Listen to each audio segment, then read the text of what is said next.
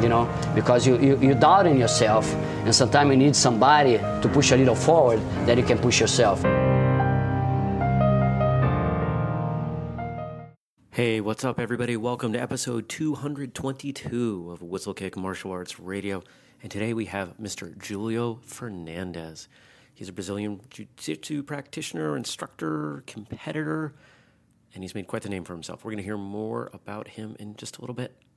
First, I want to thank you for tuning in. If you're new to the show, you might want to check out some of our past episodes, some of the other stuff we've got going on. Best place to start is at whistlekick.com. If you're really just interested in the show, that's okay.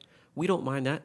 You can go to a completely different website, whistlekickmartialartsradio.com. That's where we have uh, 221 other episodes for you to check out.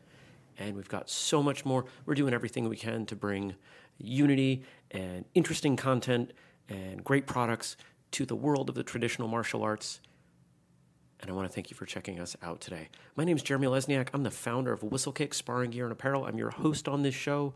And if you're a visitor to martial arts events, you may have actually met me because I spend a lot of time traveling around, training, teaching, visiting, hanging out. Because let's be honest, martial artists are great people, and I love hanging out with all of you, all of us. I don't know. I, I guess I'm in that group, aren't I? Hopefully, hopefully, I get to be included. I don't know that I thank everyone enough for tuning in. It really means the world to me. Here we are with maybe it's not the milestone that episode 200 was, but 222. It's kind of a fun number, and it's just got me reflecting on everything that's gone on over the last two and nearly two and a half years of this show and how much it has changed not only this business, but my life. So thank you for your support in allowing me to do that. Who would have thought that surfing waves could lead to martial arts? Today's guest, Mr. Julio Fernandez, proves that even when you're doing a completely different sport, it can still lead you to martial arts. He not only turned to Brazilian Jiu Jitsu, but he trained hard with one of the pioneers, one of the best in this martial art, no less than Carlson Gracie Sr. Having said that, he isn't only a student or a practitioner, but also a respected teacher in his own right. His was not your ordinary journey into the martial arts, but rather than telling you, I'll let him tell you the story. Let's welcome him to the show. Mr. Fernandez, welcome to Whistle Kick Martial Arts Radio. Glad to be here, man. Thank you for being here. Thank you for your time. Listeners will know that there's a difference in the audio here. They're going to hear a little bit in the background, and that's because we're right here in your academy. We're, Exactly. we're- Yeah, we have a class going on right now. I don't know about 20 people here, you know, doing some training techniques and that kind of stuff. Yeah, that's it's been really good. I've been blessed. School is growing, doing really well. My affiliation is doing well. You know, BJJ Revolution team, and uh, we, we we're doing really well. I'm really glad. That's great. Well, you're saying that with a smile. I don't usually get to see what people look like as we're as I'm talking to them. So Yeah, this yeah, is a lot of fun. I always Well, like uh, doing you know, this. I think you have to be positive. You know, and uh, Sure. you know, when you're a positive person, you bring positive people into your life, and uh, you know, that's bring maybe more people, more business to, to your school. You know, like attracts like. I've heard. Some that's correct. Yes, yes. Yeah, Okay. Well, this is a martial arts show, and you're a martial artist. We're in a martial arts school. that's right. But let's, I mean, let's go way back. okay. How did you get started? Well, you know, I uh, was about 17 years ago, and I used to surf. I was a professional surfer at age uh, 16. You know, started surfing. I was five years old, and my brother was seven. We got a surfboard for Christmas, and uh, you know, that's when I started surfing. Well, when I was like in the middle school, I was a kind of semi-pro, and uh, you know, like by the end of middle uh, high school, I was a, a professional surfer. And then I kind of have a lot of um, friends of mine doing jiu-jitsu already you know, and I, I was really curious about that and I started visiting Carson School, Carson Gracie, you know, because his school was about three blocks from my house. And I used to go over there, see the other guys training, that kind of stuff, and that's when I kind of started slow. I was about 17 years old, yes. It's been uh, many, many years ago. yeah. You said you had friends doing jiu-jitsu. You were curious about it. What, what was it? Because I've known some surfers. Yes. They're pretty passionate about what they do. Exactly, yeah. What was it? I mean, did you did you leave surfing? Did No, jiu- no, okay. no. I, I never stopped surfing. I still surf. You know, kind of. Uh, uh, I went surfing in Indonesia. I was in Hawaii with Murilo Bustamante. You know, kind of. Uh, I was in California a couple months ago surfing with Rodrigo Medeiros. Riley Grace was with me too. You know, I still surf. I, I have a lot of love for surfing. One of my, my, my favorite sports, my first sport, basically. basically. And uh, But uh, the, the jiu-jitsu part of that came because you see there's kind of a lot of localism in surf. Uh, you know, I felt the need to train martial arts. And I had a little judo when I was a kid. You know, I, I had two or three years in judo. I was six years old. And then I did a little uh, capoeira, you know, as a, like a Brazilian martial arts. Sure. And that kind of, you know, like I said, one step after the other, you know, uh, I ended up doing jiu-jitsu because you see, friends of mine, uh, Marcelo Bustamante, Mauricio Bustamante, Murilo's older brothers, uh, they used to train jiu-jitsu. And that's a kind of, you know, I had a connection there, and that's how I started, you know. So you just saw good people doing jiu-jitsu and yeah. said, this is something I want in my life. Well, good people do it, and uh, kind of you know, in, in Brazil, uh, jiu-jitsu was uh, known and, uh, as a very effective martial arts. You know, the Gracies, you know, they had the Gracie Challenge. You know, those guys are fighting people uh, twice as big as they are, mm-hmm. very strong, and the kind of skinny guy had all these techniques and uh, all these moves they could maybe uh, confront, at least hold their ground against a bigger guy. You know, the mode of Brazilian Jiu-Jitsu is like a survive then win you know. And then I said, well, I need to something here because you see, if, if I've been taken down, if I'm on my back, if I'm in a bad situation, I can maybe turn the sink around. That's what the reason that he started doing you know, just for the, the idea of self-defense, you know. We've had a couple other folks from Brazil on the show. Sure. Either from, from Brazilian Jiu-Jitsu or Capoeira. Yeah. And they talk about their their feeling that they needed something for defense, mm-hmm. you know, on a it, it seems like on a, a deeper level than most of us here in America yeah. would think about it. Most of us in America will never be attacked. Statistically, we're, we're yeah, yeah. lucky. Maybe it's getting better, it's getting worse. I don't know. I don't look at the numbers, but the way it's been expressed to me is it was a little bit rougher in Brazil. Was that part oh, of your. Well, you know, kind of uh, here in the United States. and To be honest, you, you know, I've been in the United States for 20 something years. I go to Brazil every year, sometimes twice a year, and uh, but uh, when I moved to the United States, I was about 36 years old.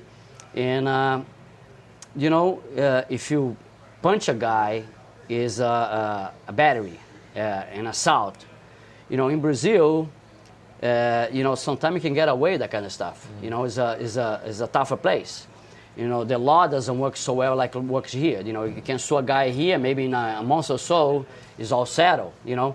In Brazil, sometimes to get something in court, it might take three, four, five years, and maybe somebody put a little money there, and uh, you know, uh, the lawsuit disappears. You know, uh, here in the United States, to be honest with you, I see that the last few years been a change on a level of people uh, consciousness about uh, self-defense. Because I don't know if it's the kind of, you know, the, the word itself is changing because uh, law, uh, there's wars all over the place, you know. But uh, I think that the people more aware of the need of self-defense. And, uh, you know, this is a good thing for my business. Sure. It's, it's sad to see that happening, but I think the United States, uh, uh, you know, is, is, growing the, the needs for self-defense. Uh, the, the, the, the, martial arts itself is growing as a, as a big, big business, you know, because the need for, you know, instruction properly, uh, completely uh, knowledge about uh, how to defend yourself in a bunch of different situations. And I think that kind of, you know, because in Brazil it's harder, it, that's why you see all these uh, people doing uh, Brazilian Jiu-Jitsu, because you see, like I said, you know, the, the, the, the arm of the law there doesn't work uh, so effectively like here, you know. Yeah. So you needed an arm bar. Well, you know, arm bar, uh, neck holder defense, or put the guy down, or you know, attack it against the wall, against a car, against a building how to uh, you know turn that situa situation around that you're going to be on top. You know, the idea of Brazilian Jiu-Jitsu is I kind of survive in the attack, just like I said, survive then win. You know, get in a position that you control the position, or you can uh, live there without marks in your face. You know, that's the idea. okay. Yeah. Here on the show, it's we like to tell stories, and that's what you know. Yeah. I told you before. Wander, go wherever these questions take you. Yeah. If I was to ask you your favorite story from your time training, what would that well, be? you know, I have a lot of those stories. You know, I have one that I kind of, you know, I was competing uh, the Brazilian Nationals, and I was competing a guy uh, uh, that was really good. And, uh, you know, we went to the finals there, and Rickson Gracie was the referee. And, you know, this guy I kind of was competing against him. As a matter of fact, good friend of mine, Paulo Caruso. And uh, uh, he's well trained, well prepared. And I had a bunch of fights, but I didn't have the submissions right away. I had to work hard. And this guy, he looks really good. And you know, he submitted people like a minute and a half or something like that. You know, had like five or six fights each guy, and then I went to the finals this guy. You know, and uh, you know, I said, well, I have to different my strategy because this guy, this guy is really good on his feet as well. Knows judo. You know, has a background of takedowns, and he's finishing this guy's a minute and a half. Another side that I could, I could, I, I had to take him down. You know, and then I kind of match started. I went for my takedown, and I did take him down but I, I landed with my, my, my face outside the, the, the mat area, mm. and I, I cut my eyebrow. And Rickson was the referee, and he stopped the match. And he said, well, the match is over because you have a cut on your eye, and I, I had taken like 80 stitches on my eye. But, but then I said, well, you know, kind of, hey, if you stop the match, I'm the winner because you see, I'm ahead of the game here, you know. And Rickson said, well, but you can't, you can't uh, fight anymore, you know, kind of, I have to give the match to the other guy. I said, no, well, call Carson let Carson make the decision that, you know. Well, Rickson called Carson. Carson went to the mat there. He looked at me he said, no, he's ready to go. and I put a little tape on my eye that I could control a little the bleeding. Right. And I, I kept fighting. And, you know, I kind of said, well, if, if I'm going to have stitches on my eye, man, I got to make this guy pay too. then I went hard on him. I took him down again, passed his guard, that kind of stuff. You know, I, I won the match for uh, good, solid uh, uh, performance. And uh, that was, uh, you know, uh, the Brazilian Nationals. That was really good. I did really, I got the gold medal there. Wow. yes. That's great. That's a good story. I never forget that. yeah, I, I, can imagine not. And, and, you know, there aren't a lot of people who would be able, even even willing to try to argue their position with names yeah, yeah, like that, right? But well, to, yeah, not only to argue, but to, to win. Yeah, yes. And I mean, that says says a lot about your grit Oh yeah, well you know, uh, Carson was a guy that kind of you know has a, a fire spirit, you know, and he used to have a the fire spirit in his guys, you know. Uh, you know, you train with the Carson, and uh, you know if you don't compete, if he tell you to compete or fight or whatever, and if you said, well, I can't do it for some reason, well, he used to put you against the wall, and uh, you know uh, make you feel uncomfortable. Uh, maybe even calling you names. You know, Carson was really, you know, kind of in your face instructor. You know. Carson was like a guy that kind of, you know, you have to uh, basically do what he thinks is right. And a lot of times, to be honest, you, he was right, you know, because you, you, you doubt in yourself, and sometimes you need somebody to push a little forward that you can push yourself. And Carson was that kind of guy, you know. Mm. Yes. And he's your is he your instructor now? I, I see well, his name on. Yeah, yeah. Well, Carson passed away in 2006, oh, okay. you know, and uh, you know. Uh, yeah, he was my instructor. I only had one instructor basically. You know, I only trained one school, Carlson Gracie School. Okay. And he was my only instructor. And uh, you know, uh, I was promoted to black belt 1988. And uh, yeah, I only trained one place. I only had one instructor. Yeah, Carlson Gracie Senior. yeah, it's. I mean, as an instructor now, you know. I mean, sometimes you have to push people in a way that they're not comfortable with. Yeah, you well, have experience, you have knowledge that they don't have yet. Yeah, yeah yeah, people have a tendency, you know, to, to, to train with the people they feel comfortable. And I don't blame them, but uh, here and there, maybe you have to push yourself a little more because that makes you more confident about your skills, you know. Right. And uh, you take a punishment today, you know, uh, tomorrow you can perform better. But I always try to, to tell the guys, the guys ahead go under control. That's it, you know. There is no superstar here, you know, because you see, uh, I think uh, what happens is that kind you know, people have to develop a, a, a, a ideology that they belong to a team, and then I kind of they, they, they work for the team, not for themselves. You know, that's what I used to do with the Carson. The Carson developed the spirit, you know, the Carson Gracie team, Arrebentação team. That was the kind of the team name, you know, was a, that, that was the best team in the world um, back in the day, you know. And that's what I try to do here with my students. Well, I see, you know, team, on your on your academy shirts and yeah and, and you know it's on a lot of the guys' gis. Yes. What does that mean to you that you know because m- most schools outside of BJJ aren't going to talk about what they do as as a team mentality. Yeah, yeah. You know, it's it's considered an individual sport, and, and I mean sometimes we even karate, taekwondo, other arts that I'm familiar with will put down almost these walls in between to say what I do is very different from what you do. What does it mean to you yeah. to say that you're a team? Well, the thing here, you know, kind of like a Brazilian Jiu-Jitsu, you need a training partner all the time. You know, we don't have katas, we don't have a techniques that you can repeat and look at the mirror. Mm. you know, we develop a system that you basically needs a training, need a training partner. That training partner, uh, you're gonna develop a, training, uh, a friendship with him because you see the kind of, you need to train to somebody.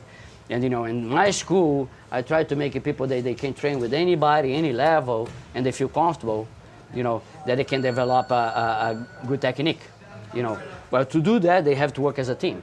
You know, and well, because the stop is growing so much, you know, uh, we have people affiliated to, to my team, and I have a training partner, Rodrigo Medeiros in California.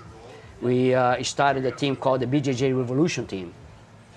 We have about 80 schools uh, uh, uh worldwide, you know, uh, schools in Brazil, Australia, Canada, you know, Ireland, all over the place. And, you know, that way we have the sport growing, and our team is spreading the, the art of Brazilian Jiu-Jitsu, you know and I kind of it helps us and it helps them. You know, I think the kind of is like you know we giving to people the opportunity to to to to uh, increase their knowledge of the sport, help other people to get better, and on the other hand, well, it helps us to to you know to, to feel good about themselves. And uh, you know, on top of that, making a little money. You know, when you're in a business, you know, you're not you're not business to lose money. You know, kind of stuff. Well, they help us, we help them, and that's a kind, you know, that's our team, BJJ Revolution team. You know, he's doing really well. Good. yeah, Good. that's great. Yeah. Glad to hear.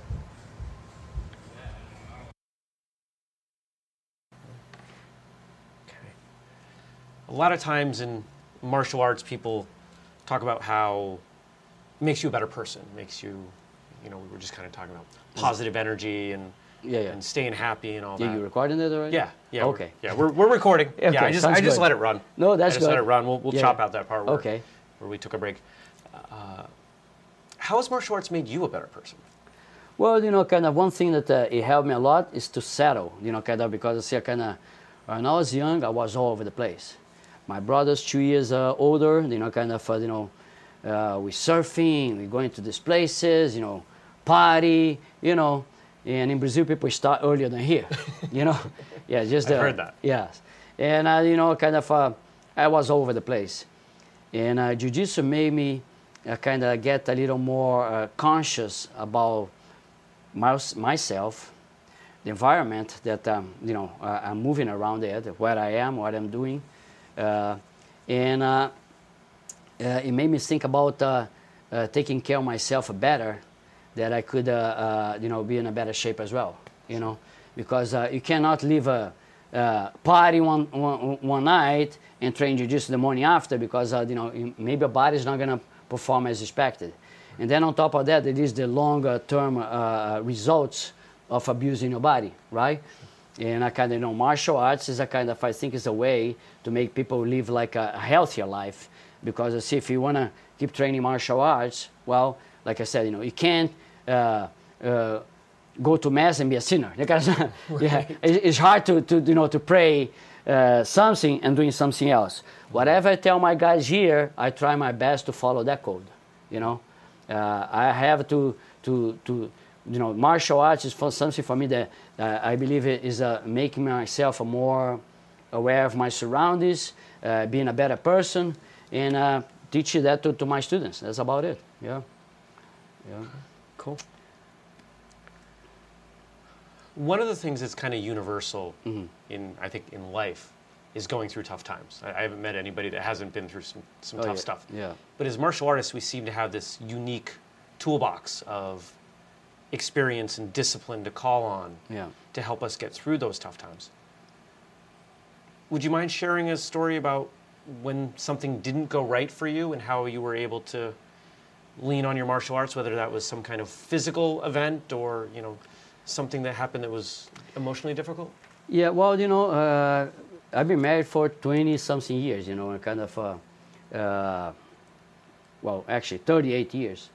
And uh, always practicing martial arts. And martial arts, uh, you know, uh, like everything in life, you know, work, uh, relationships, family, you know, you have some times that are kind of, uh, you, devote more time to them, sometimes less time to them because you have a lot of going on around.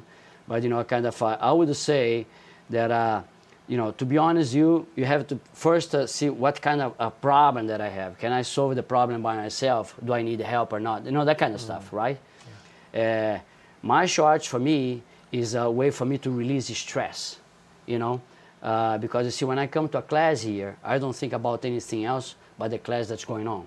You know, I kind of uh, remove all from my head, and I, you know, I have some time that I come here stressed with, uh, you know, my bills to pay, uh, whatever it is, you know, kind of, uh, you know, uh, you know, and then I think about uh, this kind of stuff, and when I start teaching or training or doing this uh, martial arts stuff, I kind of I remove that from my my my conscious, and I kind of you know I have a, a break that I can uh, you know keep my head clean, you know, and that's a kind of it helps a lot to, with the person, you know, kind of. But like I said, you know, kind of you have to see what is the level of uh, uh, stress or problems. I don't know. Uh, you're depressed or something like that. You might need professional help. If you're not, well, you know, kind of day-to-day stuff, martial arts help you to do that kind of stuff because you kind of, you know, you're trying to uh, keep it separated from whatever it is outside. That when you do a training, you release that, uh, you know, during the training.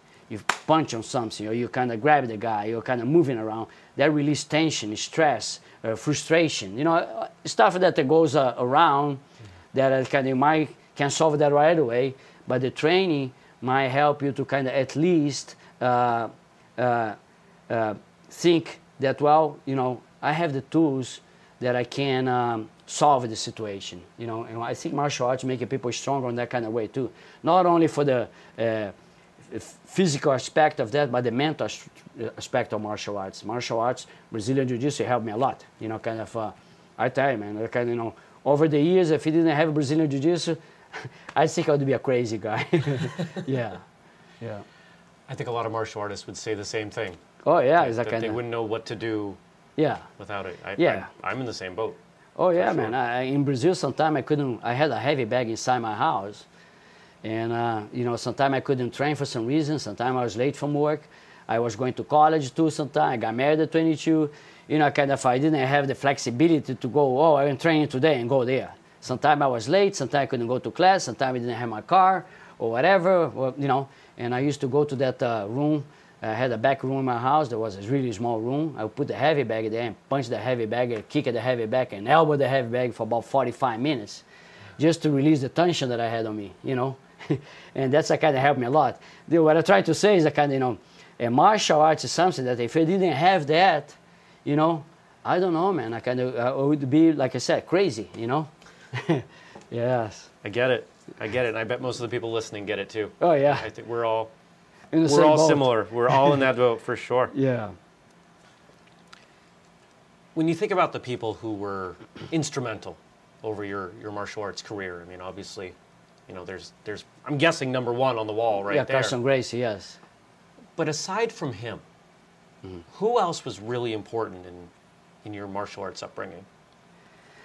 Well, you know, to be honest, you Carson Grace was number one because I kind, you know, he's a kind of like I said before, he's a kind of he, he the guy had like a, such a warrior spirit that I kind, you know, uh, uh, he, he, the, the never give up spirit that I kind, you know, was my, my inspiration, you know, kind of, you know, and um, uh, another thing that kind of really inspired me, even that uh, he kind of he, he never practiced martial arts in his life was my father, you know, my father was raised during this uh, Spanish Revolution, you know and um, they had nothing.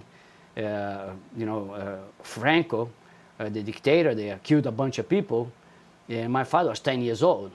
And he used to tell me the stories how to survive during that time, you know, the war, the Spanish War, how many people died, 10 years old, you know, trying to collect potatoes in a, in a field to have uh, soup for one week, you know.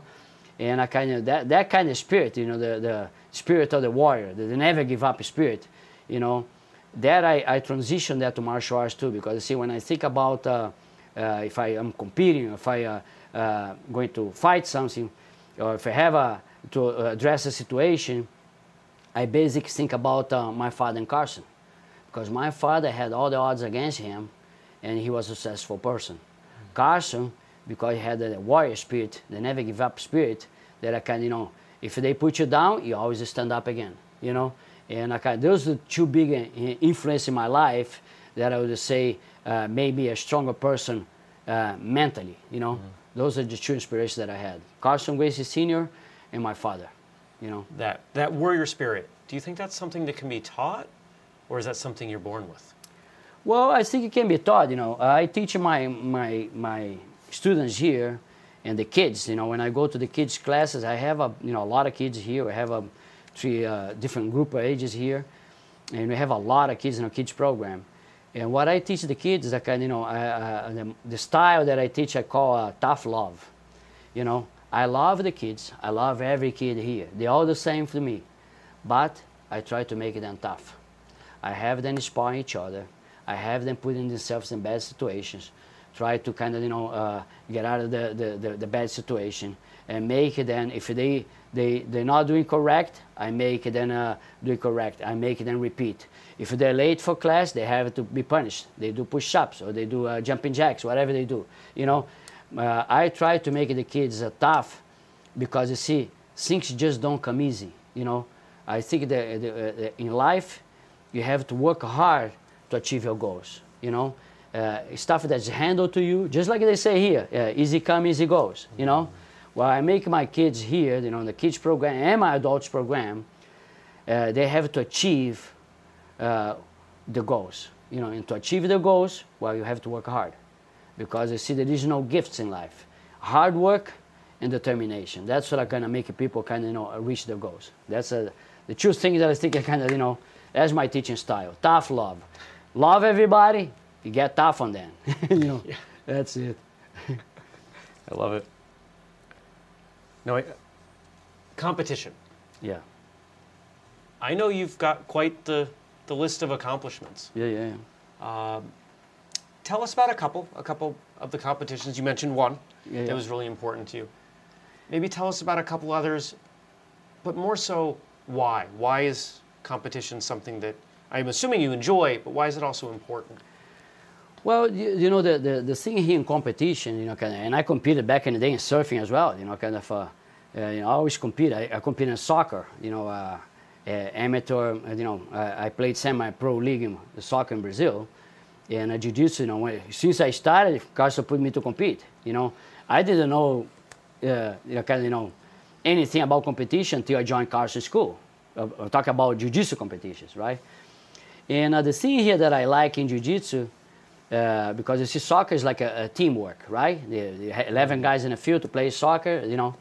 But in jiu-jitsu, you're basically against one guy. And uh, sometimes you have five, six, seven matches there to get to the top. You know, it makes you kind of, you have to endure, you have to uh, develop a, a, resistance. You have, you know, to have a committed to take a punishment, and, you know, and eventually, you know, you raise to the top you know. Uh, competition make you tougher. You don't know who fighting, you don't know who competing. They call the name and you stand in front of the guy and that's get it going. That kind of stuff.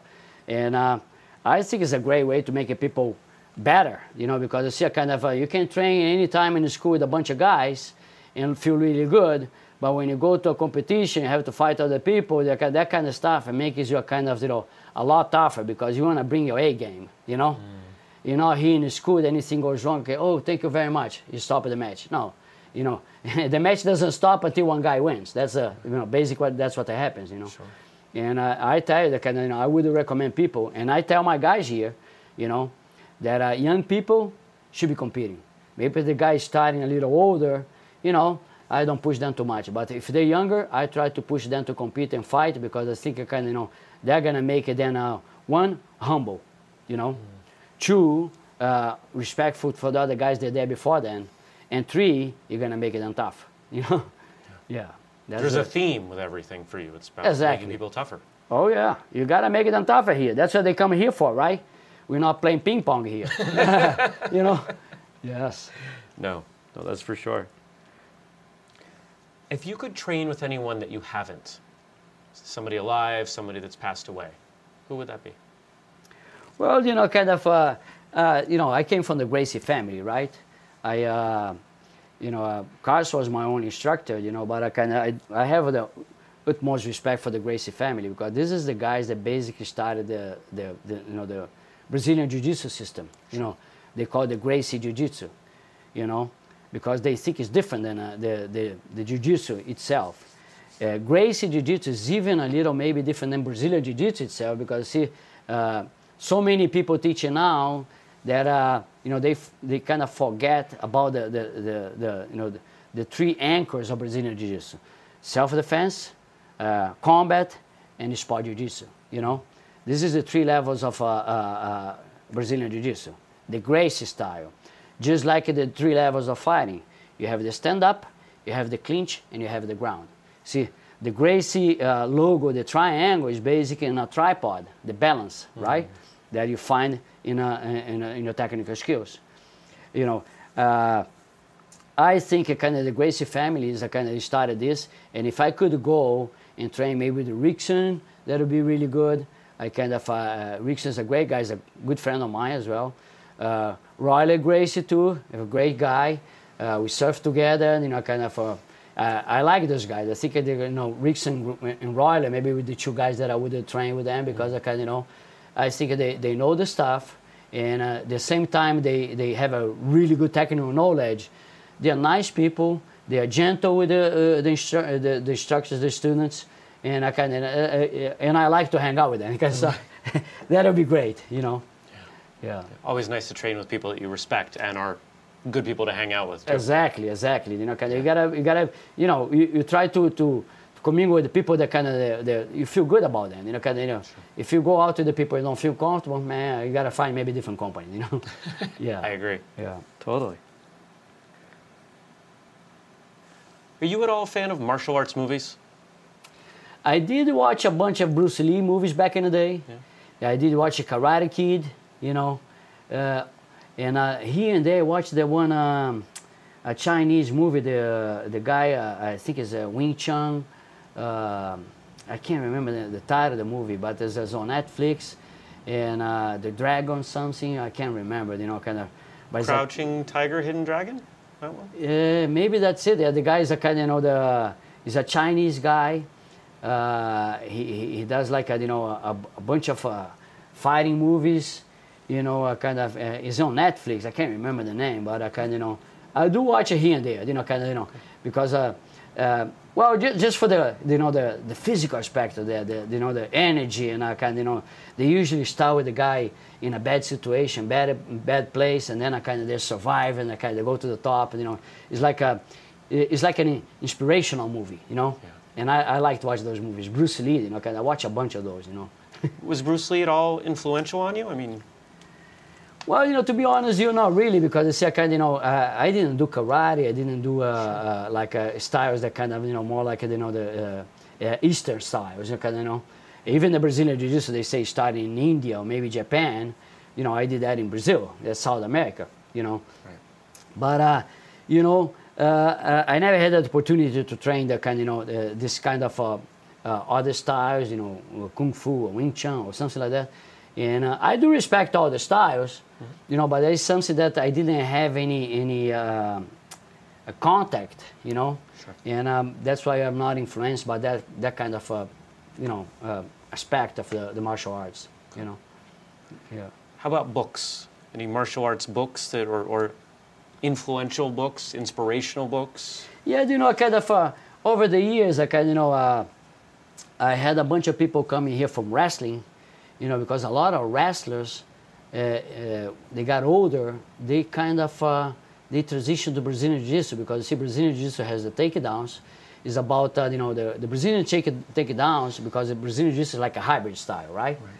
You know, we incorporate Judo, we incorporate Greco-Roman, we incorporate freestyle um, wrestling.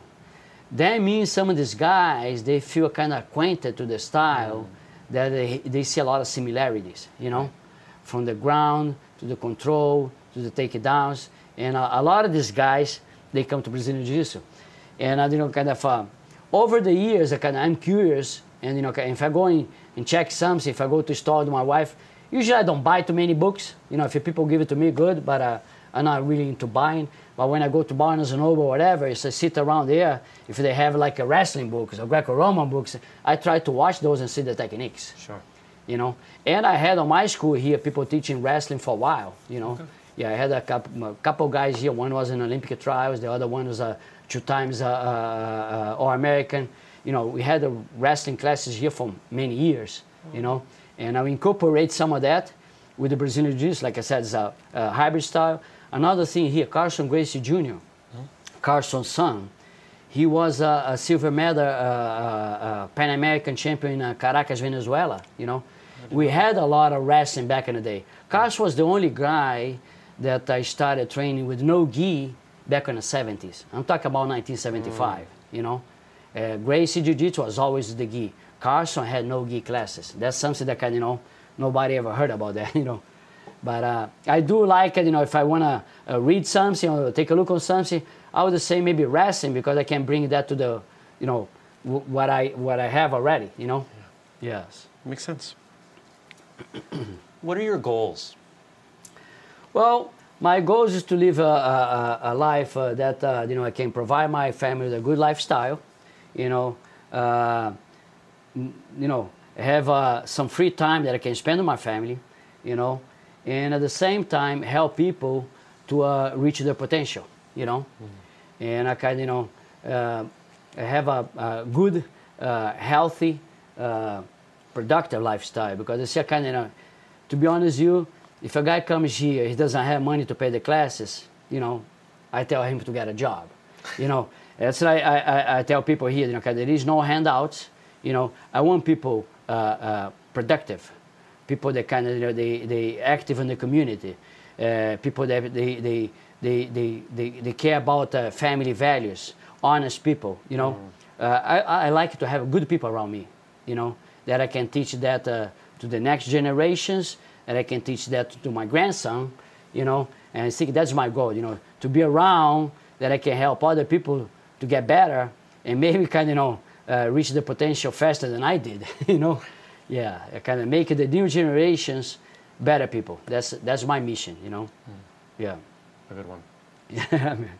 What parting advice would you give to the people listening? what what? Parting advice, words of wisdom.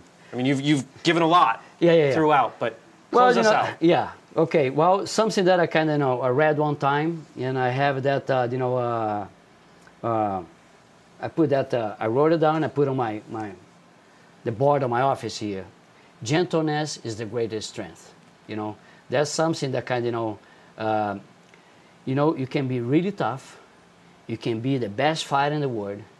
You can be, you know, a person that you know nobody can touch. But that doesn't mean that you, you know you, you can't be gentle, you can't be nice to people, you know. And uh, my advice to people is to be humble about their, their knowledge, you know, because uh, you know people keep training. They you know they they competing. They try to get better. You can never say that you're the best in the world, right? And you have to be humble about what you you, know. Help other people to reach their potential. You be gentle. You know, like I said, gentleness is the greatest strength. That's my my advice. If I can give it to anybody, be gentle to people. Well, you're gonna have back because I see that kind of you know, you be nice to people, you, you're gonna find people to be nice with you. Mr. Fernandez is truly a multi talented individual who has no shortage of work ethic. He certainly gives us an example of how teaching martial arts can completely, and in a positive way, consume your life. Thank you, Mr. Fernandez, for coming on the show today.